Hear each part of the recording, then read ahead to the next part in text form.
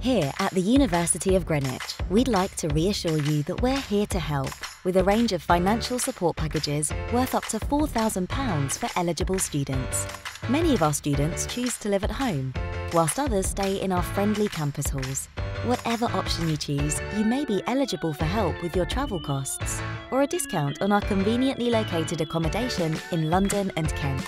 Our commuter bursary can be used towards public transport but if that isn't an option, it could also support the cost of a new bike or your journey by car if necessary.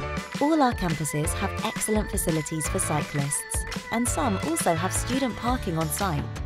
If you choose to live in halls for your first year, you may be eligible for a discount on your rent. Our university accommodation is already ranked top three in London for affordability by the Times and the Sunday Times Good University Guide. And we have a range of options to help you find a home from home that's just right. Our cost of living support can also include making sure you have the tools you need to succeed, such as help with the cost of a laptop and internet access. Plus, if you need to earn while you learn, we can even help you get part-time work with our year-round Student Ambassador Scheme. So, what are you waiting for? Check out our eligibility criteria online or chat with one of our friendly advisors to find out more.